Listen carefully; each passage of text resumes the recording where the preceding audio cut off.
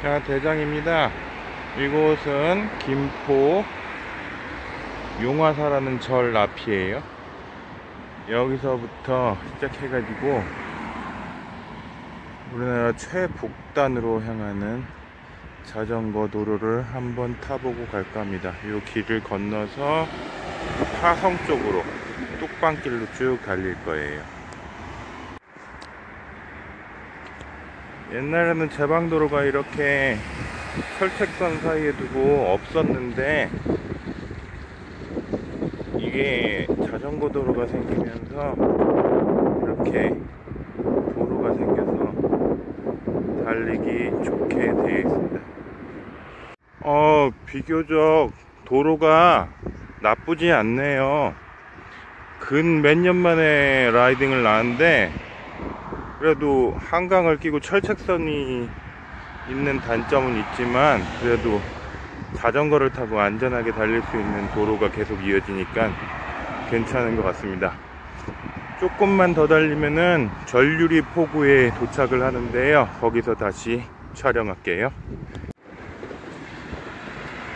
자, 여기가 전유리 포구입니다. 한강 하류의 유일한 포구이고요. 저는 전유리 포구를 나와서 이제 북단 쪽으로 가게 되는데요.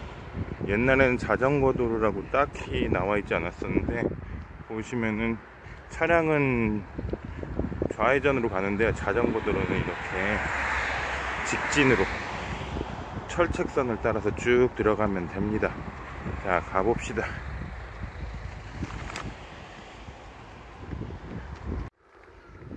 아, 정말 이제 최북단으로 간다는 느낌이 들 정도로 정말 조용합니다.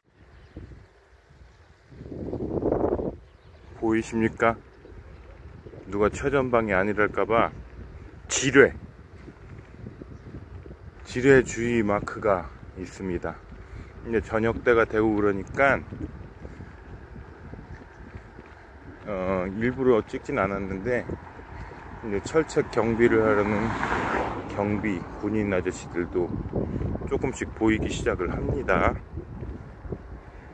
자, 이 빨간 벽돌 건물이 신탄 집수장이었나 그랬던 것 같은데 전에도 여기까지 왔을 때 여기 이상 들어가지는 못했어요. 여기 저쪽에서 이제 검문이 시작되고 그러는데 만약에 촬영이 더 이상 이루어지지 않으면은 여기서 더 이상 진행을 할 수가 없다는 그런 뜻입니다.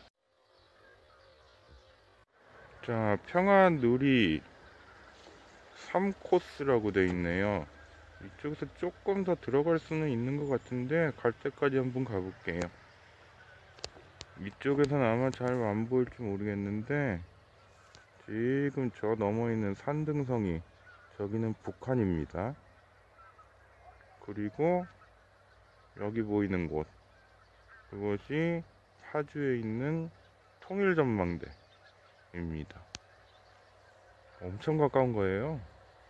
아 아까 그 빨간색 벽돌 건물이 석탄 펌프장이었군요. 석탄 펌프장. 평안 누리길로 철책선을 살짝 더 가볼 수는 있을 것 같네요. 아, 이제는 도로도 좁아지고 진짜 사람이 별로 안 다니는 길인 것 같은 느낌이 좀 듭니다. 좀 으슬슬합니다. 더 촬영이 안 될지도 모르겠습니다. 아, 여기서 더 올라가지 않고 마치겠습니다. 아마도